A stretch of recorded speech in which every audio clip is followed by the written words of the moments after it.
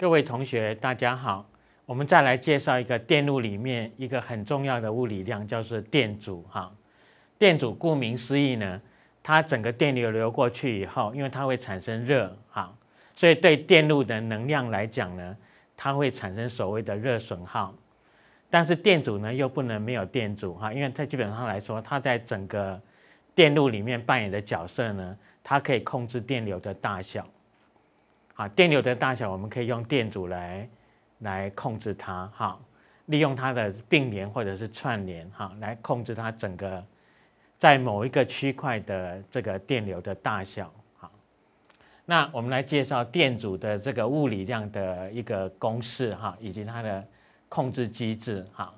那一般来说，我们这个把这个线性导体呢，所谓线性导体，就是说在电路里面，哈，在直流的电路里面呢。它的电流跟电压成正比的这种导体呢，我们就称之为线性导体。哈，那一般我们把会把线性导体呢画成一个圆柱形的。哈，线性导体它的电阻呢会跟长度成正比。哈，那跟截面积呢是成反比，所以它的控制因素呢基本上就有两个。哈，第一个是材料的因素，我们就称为这个电阻率。那我们知道金属的材质呢，它的电阻率呢，通常是比较小的哈。像以三大金属金银铜来讲哈，银的电阻率是最小的哈，再来才是铜跟金。但是所以在电路里面呢，因为为什么我会用铜当做电路里面的电阻呢？最主要原因就是因为铜它比较量比较多哈，那银的量是稍微少了一点，所以它称为。比较贵重的金属，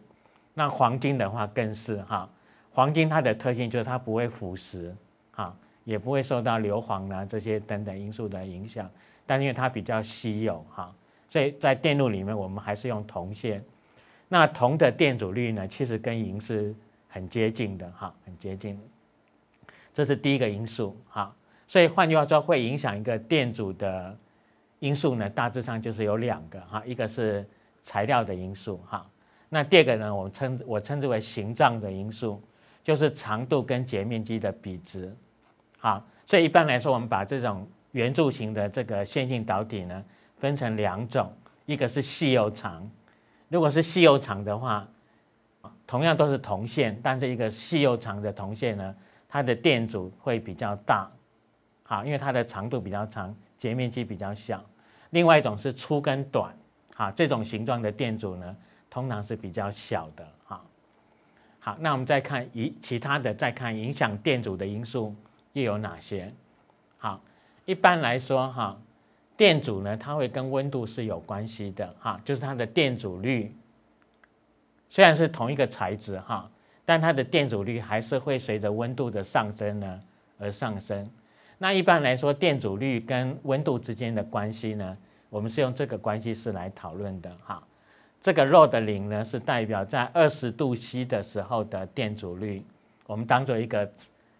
标准值哈，就是我们称为 standard 哈。那这个阿尔法呢是代表它的一个每一个电阻都有一个温度系数哈。那金属材质来讲的话，它的温度系数呢其实是大同小异的哈，差距基本上来说不大。那非金属材质的呃温度系数呢，差距会比较大一点哈。那你可以这个当温度大于二十度 C 的时候呢，它的电阻率也会变得比较大一点点哈。对，那我们来看这个电阻，因为电阻率既然受到温度的影响呢，相对的之下也会造成电阻跟温度之间的一个关系。好，我们来看这个部分。好，那因为电阻跟电阻率是成正比。好，但是因为不是基本上来讲，电阻率一般来说是固固定的哈。但是因为电阻率它受到这个温度的影响，好，所以造成电阻呢跟温度之间也有一个相对的一个关系。这个 R 零呢就是代表在参考温度，也就是二十度 C 的时候的电阻哈。那这个阿尔法呢也是代表这个某一种金属材质的它的电阻的温度系数哈。那我们现在利用一个例题呢，来讨论它们之间的一个实质上的一个关系。好，现在有根铜线哈，那在一百度 C 的时候的电阻呢，会是在二十度 C 的时候的电阻的多少倍？就是当温度上升八十度 C 以后，哈，它的电阻会差了多少倍？那从这个公式的探讨，你可以发现，哈，这个 RT 是代表在八十度 C 的时候的电阻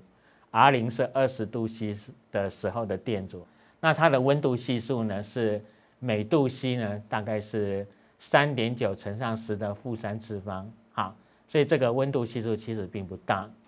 然后你带进去以后，用 RT 比上 R 零，对不对？它大了就大了这么多倍，哈。那你看得出来，事实上它的差距虽然还是有了，哈，但是差距一般来说呢，其实还是不是很非常的明显。所以欧姆定律呢，它是虽然是它提到说，好像是在一个固定的一个电阻的条件之下呢，它的这个。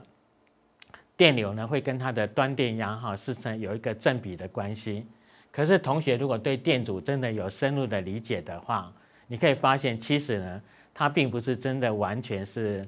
呈现一个线性关系哈，因为电阻它还是会跟温度呢是有点关系，所以一般来说哈，我们正确的讲法就是说，虽然是跟电压之间哈还是有个正比的趋势哈，